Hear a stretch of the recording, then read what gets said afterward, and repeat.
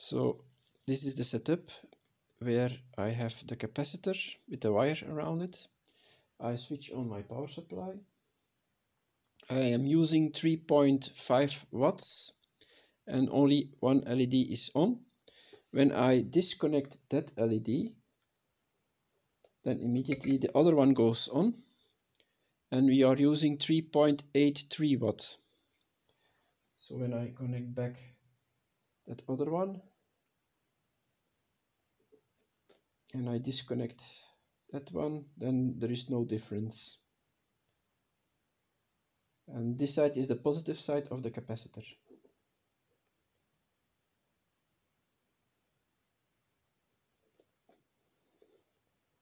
So if we are able to switch from uh, one side to the other then we also can have a very interesting result